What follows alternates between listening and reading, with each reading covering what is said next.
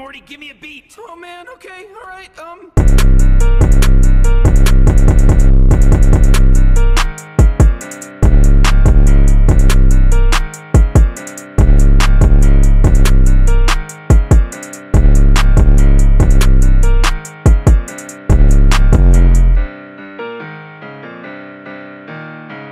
What's up my Barbies and Kens, it's your girl KynThaDoll and I'm back with another video. Today I'll be showing y'all how I add bundles to a factory made wig, making it fuller than what she's looking like now. So let's jump straight into it. Make sure that you like this video, comment down below, subscribe if you are new to my channel, and after you subscribe, which you will because you just real like that, you're gonna hit that bell so you'll be notified every time I drop a video so you're never late to the party.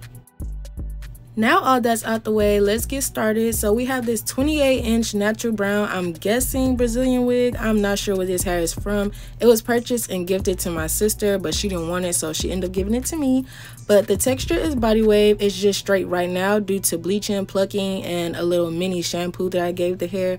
But yeah, this is my first time ever working over a factory wig because I never buy my wigs already made. I like constructing them myself, but here we are. For the most part, the wig is really nice, very soft and silky, and the knots bleach really well. However, it just was not full enough for your girl. So I went ahead and got a 28 inch bundle for my people over at Kiss Love Hair. Y'all know I love them. I received the hair really quickly and along with the hair I also received a comb, a wig cap which y'all know the wig caps come with anybody but I got a wig cap, I got an edge brush, they also sent me some lashes which I feel like they could step up on the lashes but I got some lashes. They also sent me a little melting band with their brand name on it so I'll definitely be using that when I'm melting my lace. And they also sent me an eyebrow razor because they know that we be using them now so they sent me an eyebrow razor. And along with that of course got the hair head over there and get y'all something whether it's bundles or a wig or a frontal or a closure and make sure you use code kendra for money off. Their hair is so soft literally little to no shedding. And the bundles are always full. That's why i love kiss love hair. But yeah so make sure y'all check them out after y'all done watching this video and be sure to use my code kendra at checkout for money off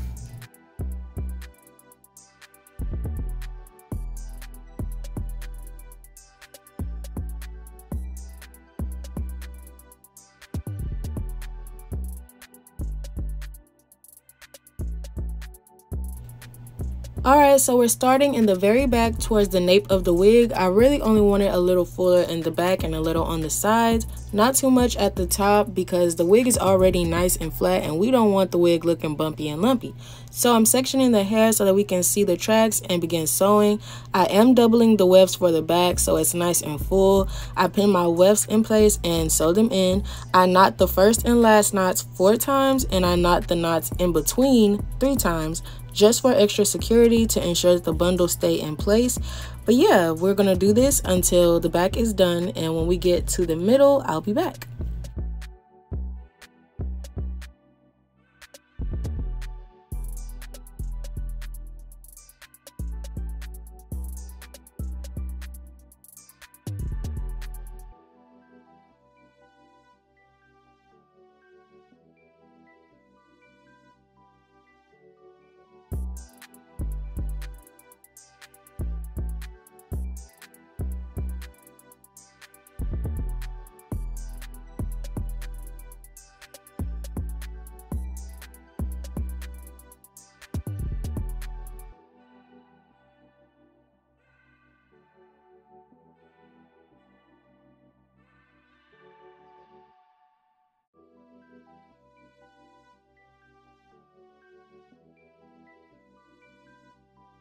Nine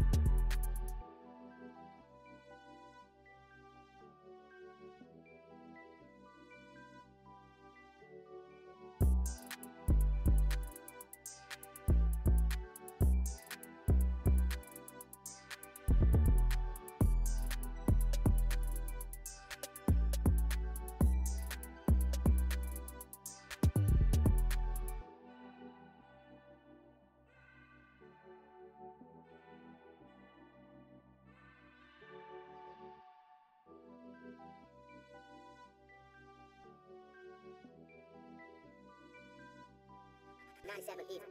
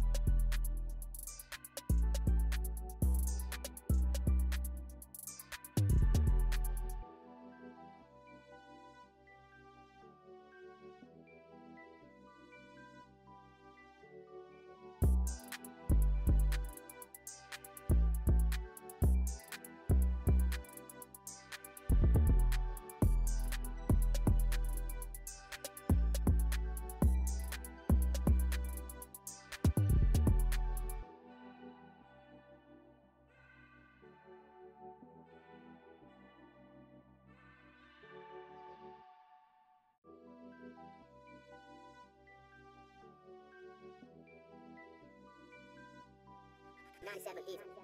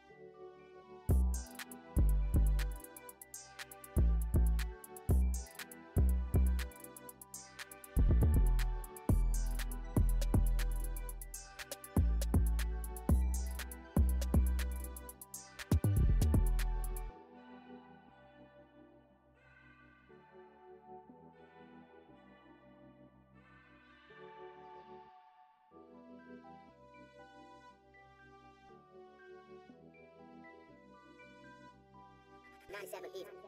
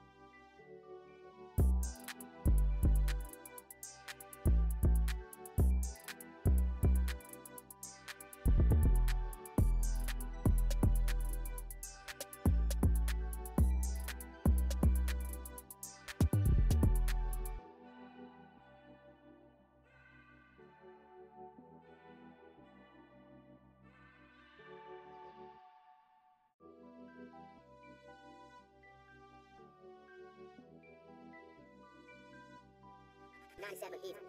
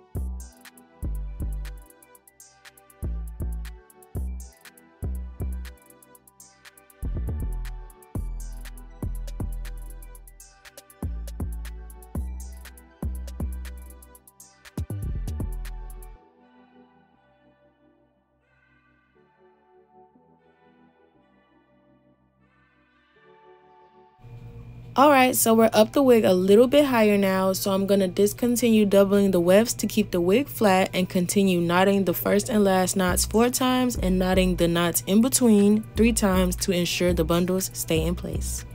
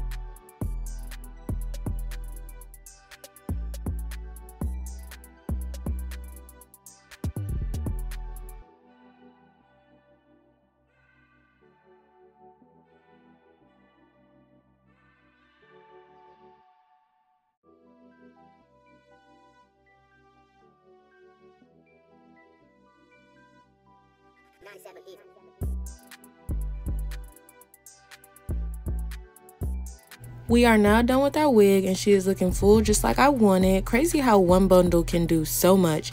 This is the end of this video. If you enjoyed this video, make sure you hit that thumbs up. If you found this video helpful in any type of way, make sure you leave a comment down below and subscribe if this is your first time coming across my channel to become a Barbie or a Ken of mine. I am a small YouTuber, so I truly appreciate it. And after you subscribe, hit that bell to be notified every time I drop a video. I love y'all so, so much, and I'll see y'all in my next one. Bye.